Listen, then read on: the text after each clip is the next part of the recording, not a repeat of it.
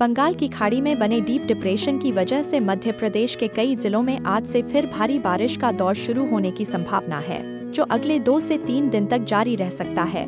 गुरुवार से बारिश के थमने की भी उम्मीद है। फ़िलहाल, मौसम विभाग ने अगले 48 घंटे के लिए मध्य प्रदेश के कई जिलों में ऑरेंज और येलो अलर्ट जारी किया है, जिसमें आज 18 जिलों में भारी से बहुत ज़्यादा भारी बारिश की चेतावनी दी गई है।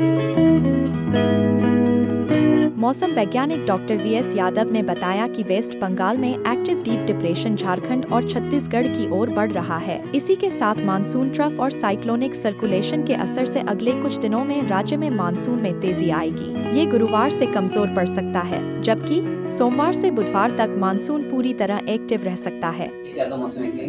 वर्तमान में एक डीप डिप्रेशन वेस्ट बंगाल के आसपास है और उसकी वजह से प्रदेश में अगले चौबीस घंटे का मध्य प्रदेश में जो गरमाहटियाँ हो सकती है, उसके अलावा एक सही सर यूपी के ऊपर बना हुआ है ट्रफ लाइन फिरोजपुर, पटियाला, बलिया होती हुई जा रही है।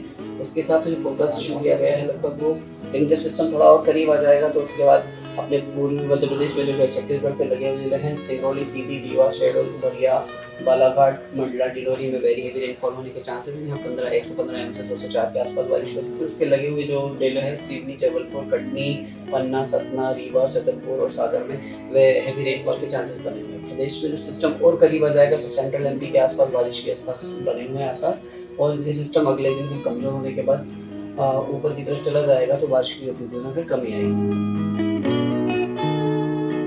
आज सिंगरौली, सीधी, अनूपपुर, शहडोल, उमरिया, डिंडोरी, मंडला, बालाघाट और मेहर जिलों में अत्यधिक भारी बारिश का ऑरेंज अलर्ट जारी किया गया है, जबकि रीवा, मऊगंज, सतना, कटनी, जबलपुर, सिवनी, पन्ना, सागर और छतरपुर जिलों में भारी बारिश की संभावना है, जबकि राजधानी भोपाल समेत 24 जिलों में कहीं कहीं हल्की से मध्यम बारिश हो सकती है।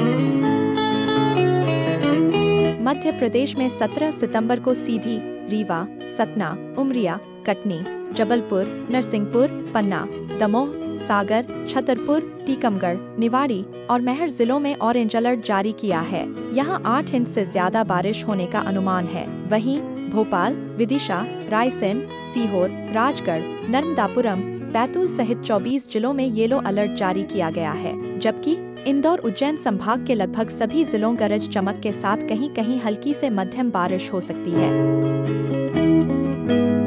मौसम विभाग ने 18 सितंबर को भोपाल, विदिशा, खरगोन, बड़वानी, उज्जैन, देवास, ग्वालियर, भिंड सहित 31 जिलों में भारी बारिश की संभावना जताई है, जबकि बैतूल, बुरहानपुर, खंडवा, इंदौर समेत 13 जिलों में कहीं कहीं बारिश हो सकती है।